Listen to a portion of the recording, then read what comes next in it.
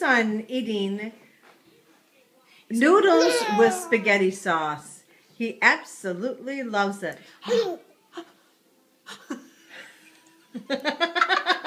he goes, Mother, my aunt and grandma are very good cooks.